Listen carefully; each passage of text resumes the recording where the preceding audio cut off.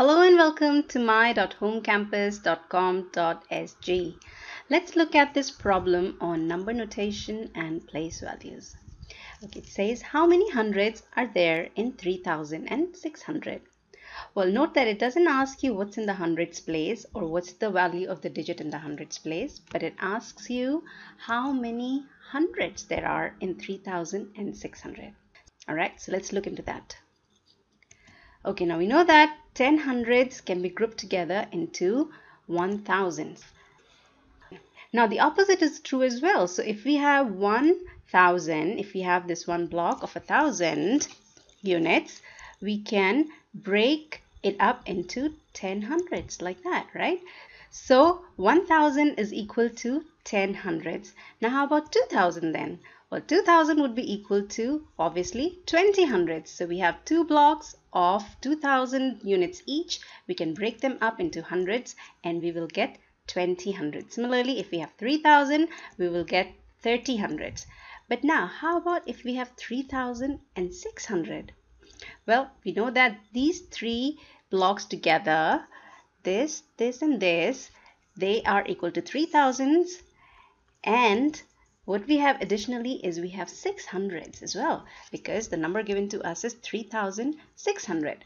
So we have 3000s and 600s. The 3000s we know can be broken up into 30 hundreds and the 600s, well, the 600s are just 600s.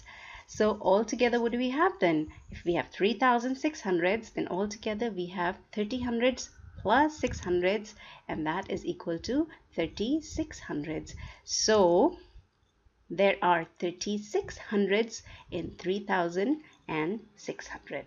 All right, let's look at it one more time, a little differently. So if we have our place value chart with the ones and tens and the hundreds and the thousands, we know that our number 3600 has 0 ones, 0 tens, 6 hundreds, and 3000s. Now, there's nothing for the ones, there's nothing for the tens, but there are 6 hundreds and there are three thousands. Now each thousand is equal to 10 hundreds. So what we have is we have 30 hundreds. Now if we were to modify this uh, place value chart a little bit, we keep the ones and the tens as such and what we do is we combine the thousands and the hundreds into just one column which is hundreds and what we would have is 0 for the ones, 0 for the tens and 36 for the hundreds. So there are 36 hundreds in 3600. Well, that's it about this lesson. For practice questions and worksheets, go to my.homecampus.com.sg. This is M signing off for now. Bye-bye.